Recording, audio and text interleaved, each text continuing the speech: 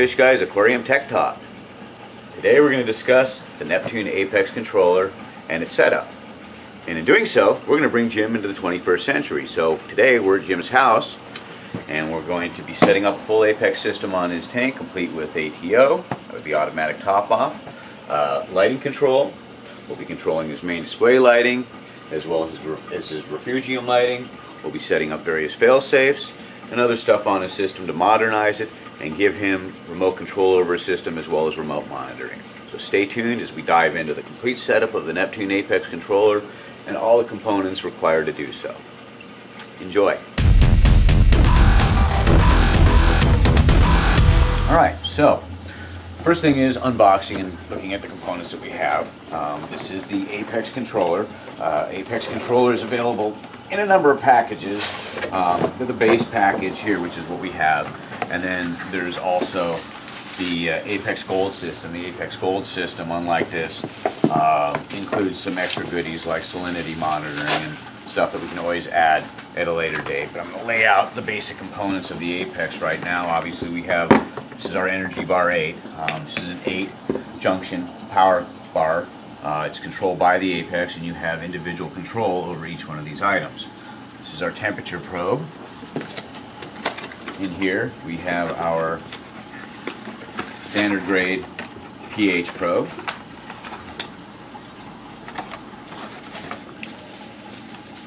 We have our main apex brain, so this is where everything plugs into, and this is the brains of the whole unit.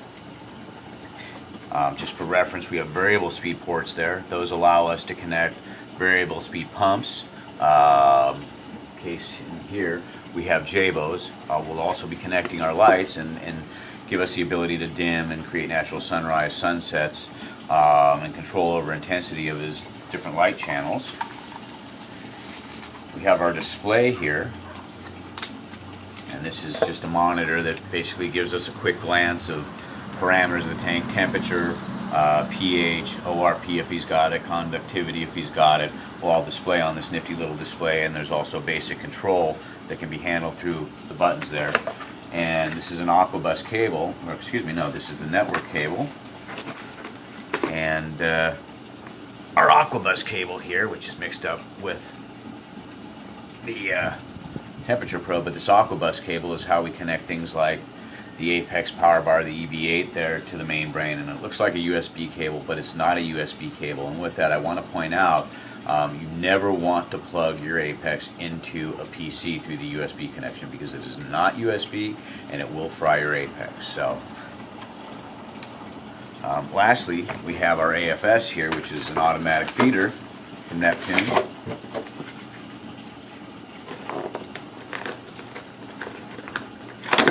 I should have opened that first, but nifty little feeder here is controlled through the Apex. We can set the amount of food that we want to feed, um, the intervals that we want to feed, um, and whether you want multiple times a day or when you want it, etc. So, and a nifty little packet of food. We have extra food as well, and of course, another Aquabus cable. That'll plug again into controller or into the EB8. We have nifty little ports here so that we can expand the system as we go along and you expand through the use of different modules and these Aquabus cables. With that, we also have our probe calibration solution to make sure our pH probe is accurate. And then we're going to talk about some of the other nifty goodies. Um, this here is a breakout box.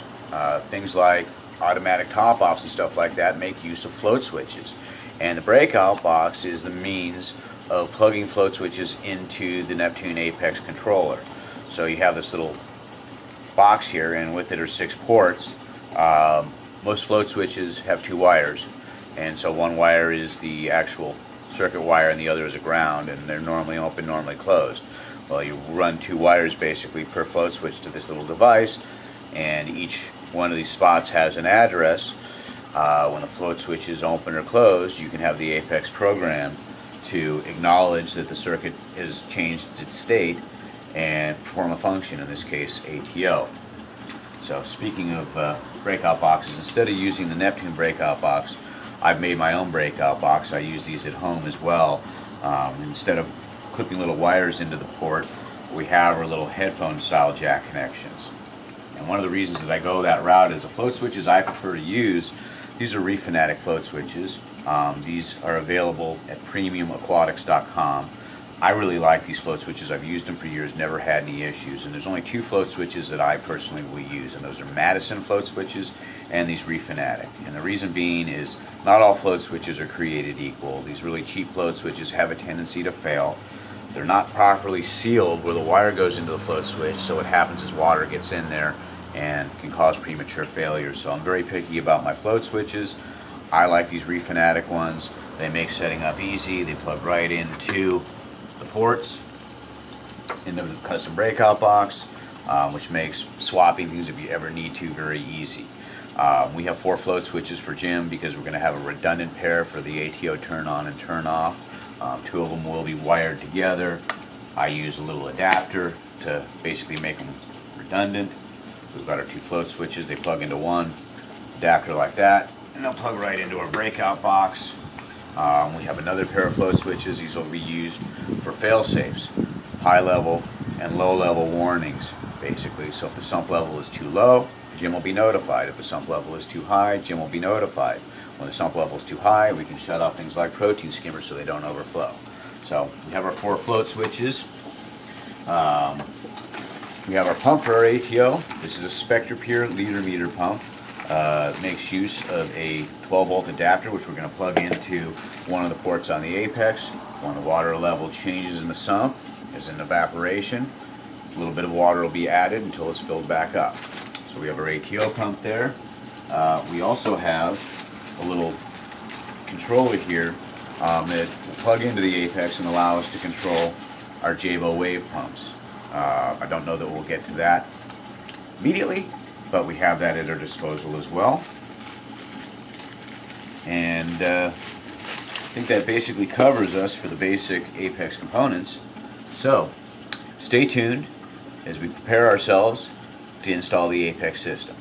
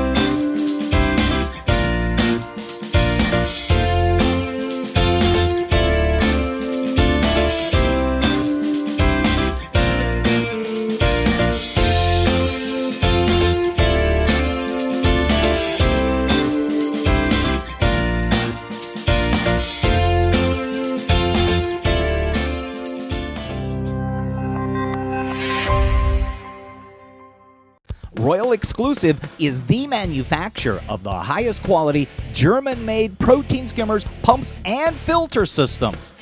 The coveted Bubble King protein skimmers are made with the finest materials available and the world's quietest and most efficient internal and external skimmers. Royal exclusive Red Dragon RD3 pumps are the highest quality, most efficient, and silent variable speed pumps on the market. They range in flow from 1,300 gallons per hour to over 5,400 gallons per hour. Royal exclusive Dreambox filter systems feature welded PVC construction that's built to last a lifetime. They feature internally adjustable water levels, custom inset lids, optional internal LED lighting, internal media reactors, and so much more. Check out royalexclusive.net and royalexclusive.com for more information. Hi there, my name's Jim Stime and you know me as the LA Fish Guy. Well, I also wear a couple of other hats. One of them is the jellyfish tank called the Jelly Aquarium, and the third is myfishtank.com. I offer an entire line of acrylic aquariums ranging from rectangular to hexagon, flatback hex, as well as the custom curve front aquariums. There's also an entire line of stands and canopies ranging from MDF to pine to oak with a variety of different finishes available. And the website is even smart enough that you can calculate what the freight and crate charges to your location will be. That's myfishtank.com. One of the best things about going with an Apex is that you become one of the tens of thousands of other owners that love helping each other out. Maybe you get stuck, or maybe you just want to simply take on a new DIY project. Whatever your question is, the Neptune Systems Community Forum brings all of those thousands of users together to help you answer it. Many of the things discussed in this video series are also covered there in various posts. Or add your own question and start the conversation. That's forums.neptunesystems.com. All right, so first item of business uh, when setting up your Apex, obviously, is mounting. Now, there's a number of ways to mount your components. Some people make fancy boards. Uh, Jim does not want any of his equipment screwed in to the outside, so we're not going to do any permanent damage to his nifty new stand. Uh, but one thing I do want to stress is these are electrical components, um, and this is a computer system, uh, or a computer controller, if you will. And with these devices comes sensitivity to moisture and water. So most important is mounting these components away from areas that they're going to get wet or lots of humidity and stuff like that. It doesn't do them any good and you will cause premature failure if they get wet or if they're in too humid of an environment. Um, so yes, it's humid underneath tanks. It isn't that horrible, um, but in our case, we're going to mount them as far away from the sump and the splash zone as humanly possible. And as a result, I'm going to mount most of our components back here on the back wall where they're good and far away from the sump. Um, so first thing we're going to mount is going to be our controller. Already got a spot marked out for it. Grab a couple screws. Make sure our screws aren't too thick. That'll be okay. We'll start mounting stuff up.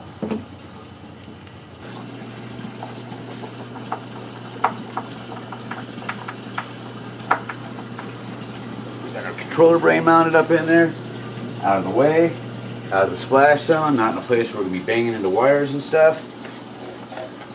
Next up is our EB8.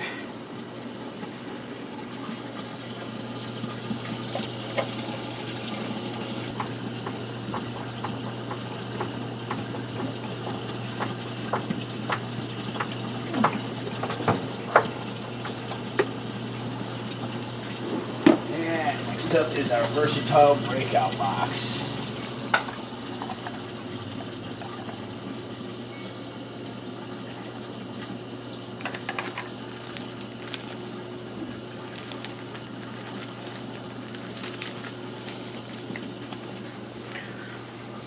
I mentioned breakout box earlier. These things can be used for a number of other things too. Um, you can actually add a little garage door button type of switch. It's a, another type of momentary open close type of switch and and uh, when you push a button you can turn on pumps and stuff like that. I use that at home for my mixing tank.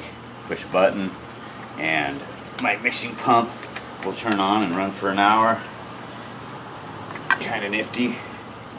And see this is all pre-wired here. I soldered it all up using little headphone jack plugs and kind of a pain if you're handy with a solder iron. Um, you can look inside the uh, Neptune Apex uh, comprehensive guide and there's some wiring diagrams for the breakout box plug and you can make your own breakout boxes assuming you find the right DIN plugs.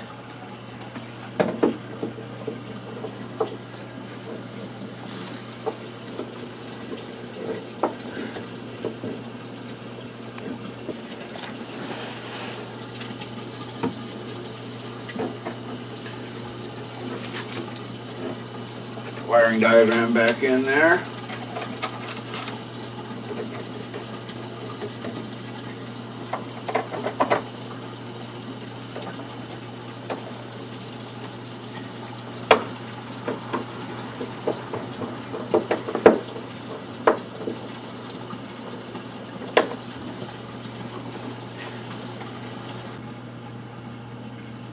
All right, so we've got our display and we want to figure out where we want to place the display.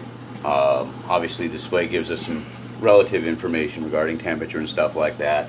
Uh, the Neptune Apex gives you the ability to monitor through the web and stuff like that, but us tank junkies, we like to look at parameters and stuff like that on a regular basis, and the display provides a convenient means of doing that. Um, also, if Jim's manually feeding and he wants to hit what's called a feed mode, a feed mode is a function within the controller that allows us to shut off pumps or things of that nature. You can push a button here to select the feed mode, hit enter, and it'll shut off pumps if we have it programmed that way. So having the controller display mounted in a convenient location is a bonus. Um, as such, one of the places I'm thinking is right here and we can run the controller wire up through the door there. Uh, another option would be on the back wall over there or on the side of the tank, wherever it might be. Again, you want it out of an area where it's going to get splashed and you want it somewhat convenient. Um, you don't want it such that you know, you bumping up against it when you're working on the tank and hitting buttons. Uh, but you want it convenient where at a glance you can see basic stuff. So that's kind of what we're trying to figure out right now is where Jim wants his display mounted. Alright, so uh, kind of decided we're going to mount it above the door here on the front face. I'm using this 3M double-sided tape. The same kind of tape that they use to put uh, trim on cars, so uh, it's real strong tape. I mean, this stuff is a little bit older, so should have enough stickiness to uh, really hold it well. I'm thinking we're going to just align it right there. What do you think, Jim? That looks good. Alright, so we'll align it with that little door edge there. Level. And stick it. Jim will be able to use this as a step. It ain't going anywhere.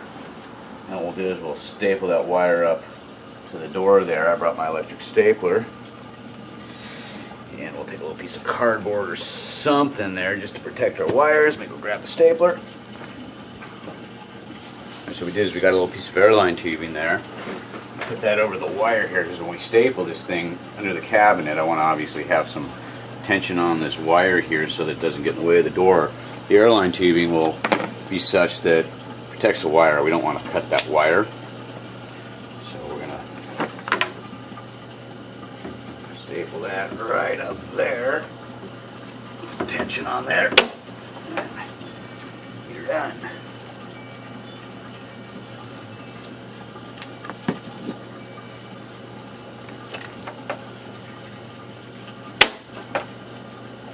Very nice. Put that out of the way.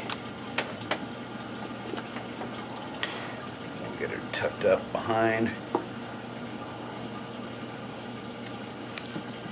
Well, so that cord is up and out of the way.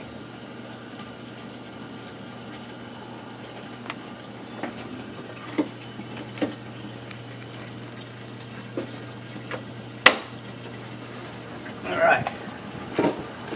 Make sure we got plenty of clearance here on the door. Which we do.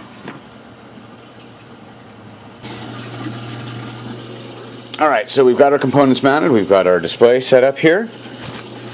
We've got our Apex controller, commonly referred to as the Apex base unit. We've got our EB8, and we've got our breakout box where we'll plug our float switches and stuff into. The next step will be wiring up the Apex, so stay tuned. And the next part will cover Apex wiring and setup.